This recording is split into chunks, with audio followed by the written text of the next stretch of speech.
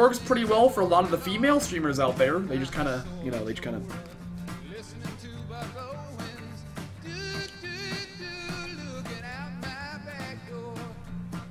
Hey, my face is up here, you fucks. Stop telling me I have nice boobs. Fucking. Come on. Oh, I gotta fix now. This is gonna be tough. I always have my webcam a particular way that I like it, and it's so hard to fix it. How is that? Nope, that's not right. How is that?